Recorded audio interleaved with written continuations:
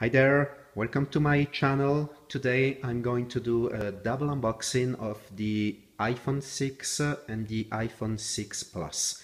This is my wife gold iPhone 6 and this is my iPhone 6 Plus space gray 64 gig 16 gig because she doesn't need more than that she doesn't use a lot of apps so let's go ahead and do the unboxing let's take away the plastic you know that inside basically you find the same stuff. That's why there's no need to do two different videos. Ooh. so that's the gold iPhone 6 and now we go with the iPhone 6 Plus space gray.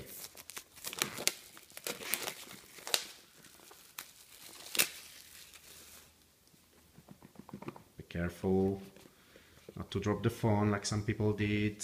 There you go Let's start with the iPhone 6 Gold. You know the spec, you know everything about it. You know that uh, it's supposed to bend if you put it on your pocket, which I find to be uh, the greatest bullshit I have heard. and now let's go with the iPhone 6 Plus Space Gray. Let's compare the size. This is 4.7 inch and this is 5.5. So there you go. The iPhone 6 Plus is a lot bigger, of course, but coming from the Note 3, I think I will not have any issue with the size of the iPhone 6 Plus. And actually, let, us compare it to the Note 3 that was my previous phone. You know, I was an Apple addict, and uh, last year I moved to Android. I had um, uh, I had the Sony Xperia Z1, the Xperia Z2, the Galaxy S5, and the Galaxy Note, and I've decided to go back to Apple because this is what I like. This is what I prefer. I like premium look. I don't care if these are less features than this one. At the end, it is what your personal usage of the phone. And uh, and what happened with the Samsung Galaxy Note is that you have a lot of features. You use them once or twice just to show your friends to impress them. And at the end you ended up using the phone just a normal way. So for me the Apple, the iPhone is more than enough. I don't need to have two screens at the same time. I don't care about the, the, the, fancy stuff because at the end I'm not using them.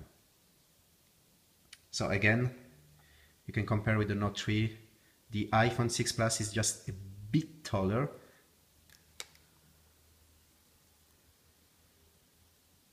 But at the end, I mean, you can really feel the premium, the quality metal used in this phone.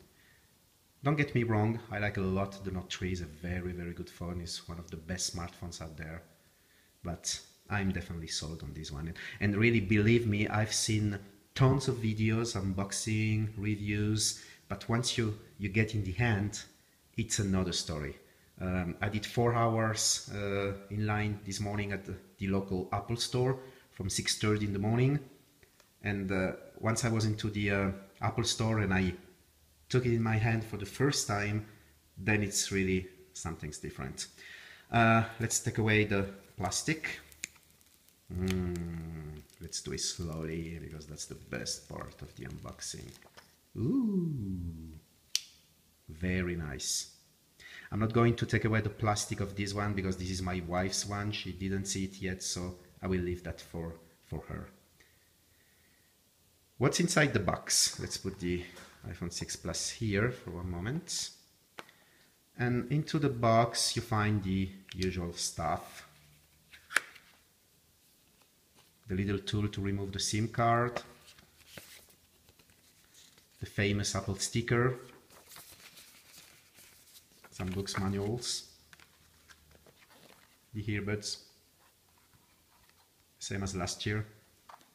And power supply and the uh, Lightning cable. There is nothing else in the box. That's it. And uh, something else I purchased also this morning is the leather case for my iPhone 6 Plus. I didn't buy it for my wife because I didn't know which color and which kind of, of a case she would prefer. So I just bought mine. I will do a separate uh, video about the, uh, the leather case for the iPhone 6 Plus. So there you go. Let's put them again together. iPhone 6 Gold, iPhone 6 Plus Space Gray. Wonderful. And you can see I have average hands and, and it's, it's really okay. And at the end, I don't put my phone on my pocket. I never ever put any smartphone on my pants pockets. You know, so for me it's really not an issue, all this band uh, shit about it. Okay, thank you for watching. See you on the next video. Bye.